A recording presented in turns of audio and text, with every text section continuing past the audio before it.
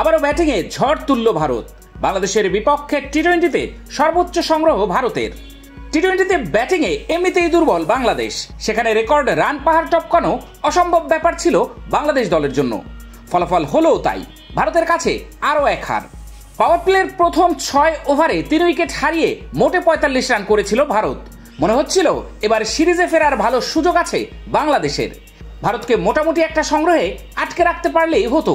কিন্তু পাওয়ার প্লের পরে লাগাম ছাড়া বোলিং শুরু করেন টাইগার বোলাররা রিশাদ হোসেন এক ওভারে দেন চব্বিশ, মেহেদি হাসান মিরাজ ছাব্বিশ, সেই ধারা চলতে থাকে শেষ পর্যন্ত। চতুর্থ উইকেটে নীতিশ কুমার আর রিঙ্কু সিং উনপঞ্চাশ বলে একশো আট রানের বিধ্বংসী জুটিতে ভর করে বিশাল সংগ্রহ করে ফেলেছিল ভারত। নয় উইকেটে তারা তুলেছিল দুইশো একুশ রান।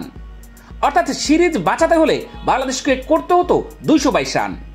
দিল্লিতে সিরিজের দ্বিতীয় টি টোয়েন্টিতে টস ভাগ্য ছিল বাংলাদেশের। ভারতকে প্রথমে ব্যাটিং করার আমন্ত্রণ জানান টাইগার অধিনায়ক নাজমুল হোসেন শান্ত।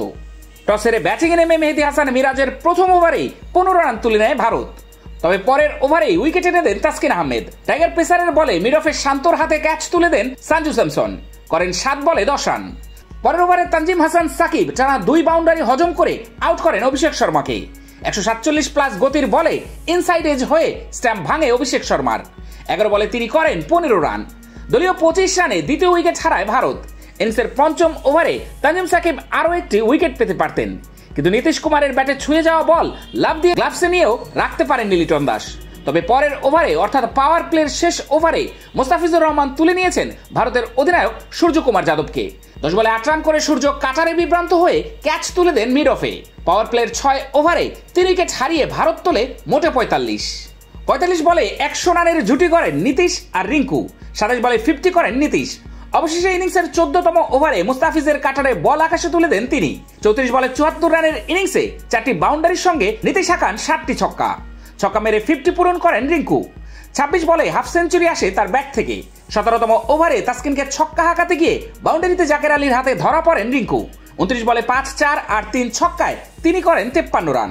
শেষ দিকে হার্দিক পান্ডিয়া উনিশ বলে বত্রিশ রান, আর রিয়ান পরাগের ছয় বলে পনেরো রানের ইনিংস দলকে বিশাল সংগ্রহে পৌঁছে দেয়। প্রথম তিন ওভারে সাতচল্লিশ রান খরচ করার রিশাদ ইনিংসের এবং নিজের শেষ ওভারে এসে তুলে নেন তিনটি উইকেট। সব মিলিয়ে চার ওভারে পঞ্চান্ন রান খরচ করেন এই লেগ স্পিনার। তাজিম হাসান সাকিব চার ওভারে পঞ্চাশ রান দিয়ে নেন দুইটি উইকেট। সতীর্থদের এই রান খরচের দিনে দারুণ বোলিং করেছেন তাসকিন আহমেদ। চার ওভারে ষোলো রান দিয়ে তার শিকার দুই উইকেট। মোস্তাফিজুর রহমান সমান ওভারে ছত্রিশ রান দিয়ে নেন দুইটি উইকেট। মেহেদি হাসান মিরাজ তিন ওভারে ছেচল্লিশ রান খরচ করেছিলেন, উইকেট শূন্য।